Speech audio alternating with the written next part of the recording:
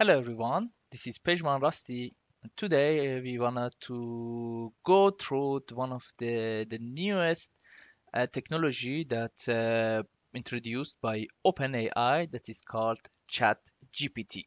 GPT stands for Generative Pre-trained Transformers, and the chat gpt environment uh, that you can uh, you can go in a, in a dialogue with it. So it is the ai machine that respond to, to to your question respond to your need and you can go uh, further on, on this and ask uh, any question that you want. Okay?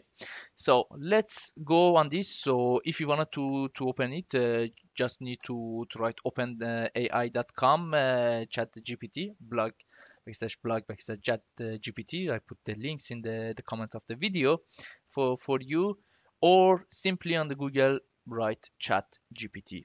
You will see this, this page. Okay. So you can, uh, you can uh, try it uh, by the try chat GPT. Okay. By selecting on this icon. So for the first time, when you, you click on this, uh, you will see a page that asks you to sign in okay if you have an account uh, on uh, OpenAI so you can use that uh, that account. If you don't have you should create an account. Simply it asks you email and send you the some some uh, confirmation codes and so on. And you can log in and you will see this space. So that's the user uh, it's very user friendly it's so so simple. So you will see some example of that some questions that you can ask like explain quantum computing in simple terms. So it's talking about the capability and the limitations of that. Okay? So we can uh, take any example from here uh, here or any other question that you you have. It give you uh, a response or some explanation about that. Okay? And it's so efficient and we can we can use it every day. So I don't go on mostly on the general parts. Uh, I'm, I'm sure that you you you know lots of uh, chat environments that uh, that you ask a question and will respond and so on, or or bots uh, on social medias. So I don't go uh, a lot in the daily life uh, requests from the chat chatbot. I go directly to the parts that we can use it on the for for, for science and in our on our work. Okay, so uh, apart from the, all the uh, daily life question that we can uh, we can ask from this environment we can go and ask more specific question. For example you are you are participating in a course or you uh, you wanted to know more about the convolutional neural network in in deep learning okay? So here you just write what is CNN deep learning. Okay.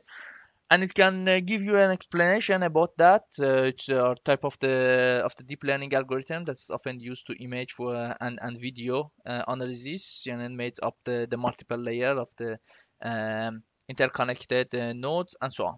Okay. So that's the explanation but you wanted to go further. Okay. You ask the, the machine as it memorized what you said before uh, write a code uh, for it in Python okay to classify images in a local folder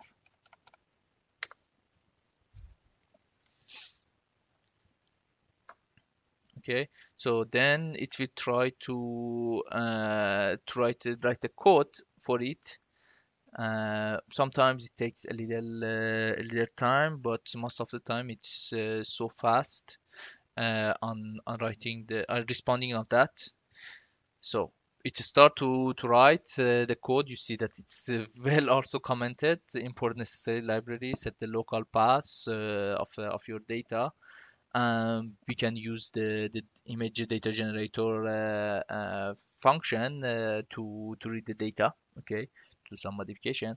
And then it goes and writes it. So it adds some uh, layers of the convolution uh, uh, of the of convolutions and max pooling and so on. So i don't go in details of that but this is how it can write a code for us okay?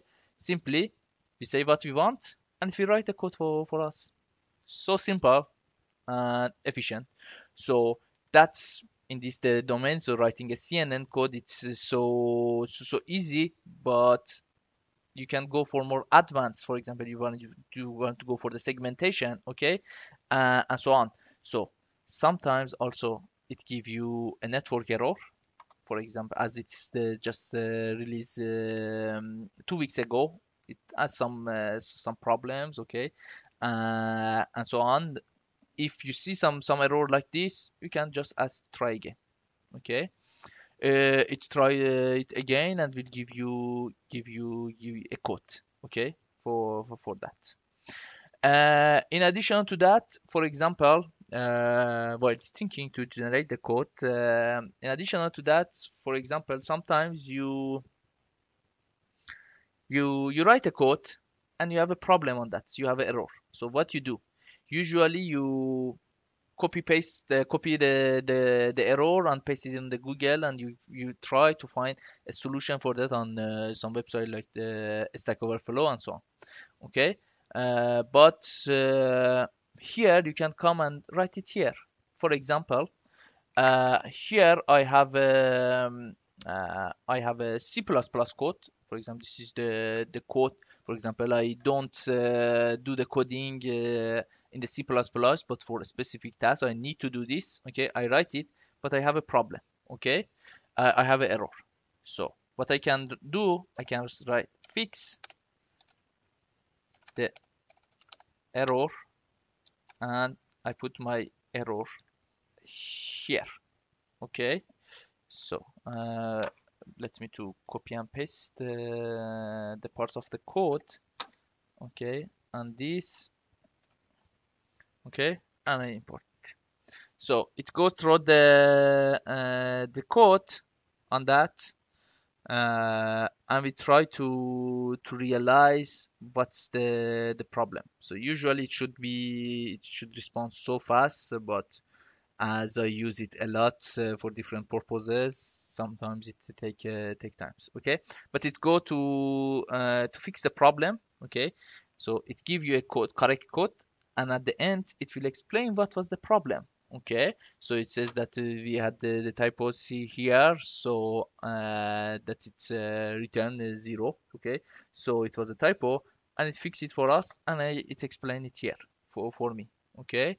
Uh, so maybe the usually when we have the typo on the in a, in a code it's not easy to to find a solution on, on for that on the on the internet but we ask it and it will it will respond. Okay?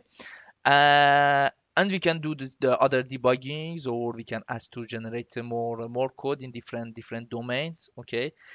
And another interesting thing about the chat GPT is that so when you come here you will see the the user interface uh, and we can we can use it. Okay? But in fact we have also uh, another option uh, to uh, to use it. So it gives us another environment that is it's called the playground. Okay? So in the playground so so if I open it so just write uh, OpenAI OpenAI i dot com like slash playground.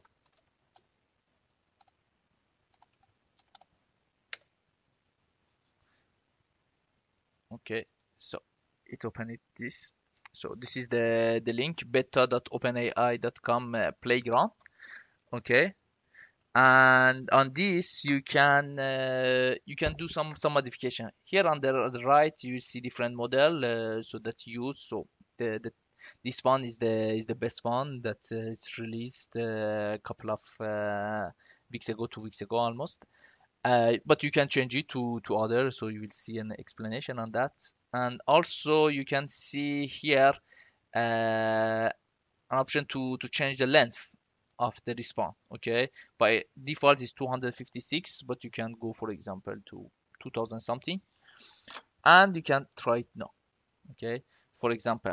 And now I ask, uh, for example, write a 1000 1000 uh, words essay about deep learning in uh, life science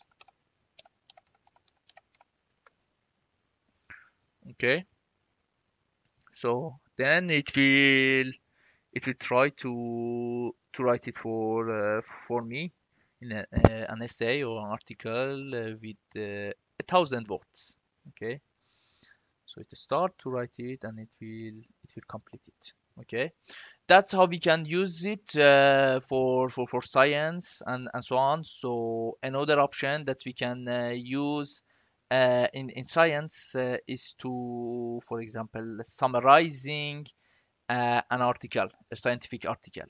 For example uh, so I will just close it but if you let it to go it will finish it and will will give you a, a essay with a thousand thousand words okay?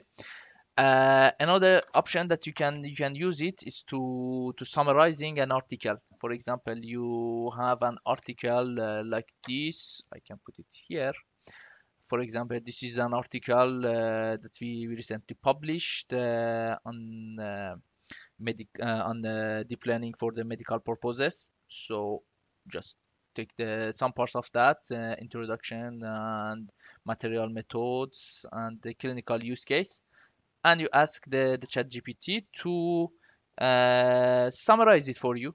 Okay, so you just need to write TL uh, DR and in that in double quotation you would paste the the part that you copied from the article okay? So you put it here and the the machine will try to to to, to summarize it and give a paragraph about about that okay?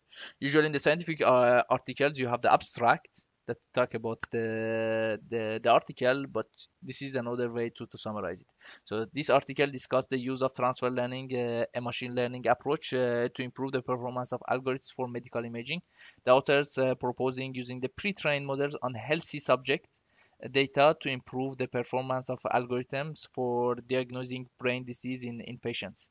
Uh, they demonstrated of the efficiency of this approach using functional uh, magnetic resonance imaging, fMRI, data from healthy subjects and patients with the brain tumor. The results show that the using pre-trained models on healthy subjects data leads to better performance of the algorithms compared to the using model trained only the on, on patients data. This approach can help uh, compensate uh, for the lack of data availability in medical imaging and improve the accuracy of the diagnosis. That's how we can use also for in, in science. So I show you the different different approaches from the coding, debugging, uh, write an article, write an essay about something, uh, and how we can we can summarize it. Uh, don't hesitate to use it uh, go and make an account uh, and try to use it and enjoy it okay bye bye